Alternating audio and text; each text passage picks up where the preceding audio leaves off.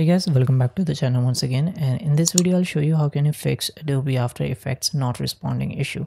In my case if I'm trying to open the Adobe After Effects, uh, this is not launching, it's not responding and no matter how many times I click over its application icon, it's not opening.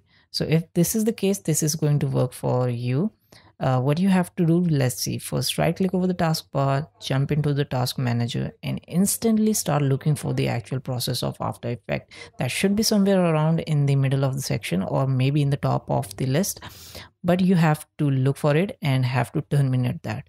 Okay so this kind of issues could have happened because of many things like bad memory uh, dumping issues and so many other factors could have happened. And uh, all you just have to term turn that down. All you have to terminate all those processes including some extra processes like if you doubt any like adobe update service you can take that down as well because no one knows what is causing this kind of issues okay?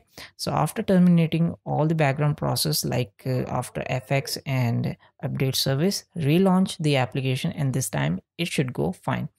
And also you can uh, make uh, sure uh, the temporary files are clear. Just hit windows r and type percent temp percent and you will be able to see all the temporary files. Make sure you check uh, that out clear that out and then your working after effects will be in front of you. So that's pretty much it for this video. I hope it helped. If it uh, is not helping you you can check out other video. And thanks for watching. That's pretty much it for this video. Thank you. I'll see you guys in the next video. Have a great day. Bye bye